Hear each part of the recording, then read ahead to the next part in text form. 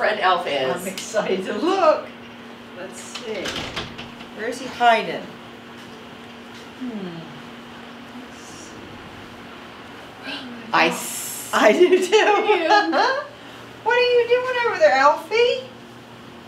Are you counting down to Christmas? It's not Christmas yet. No, but this is a really cool thing you're with here, Elfie.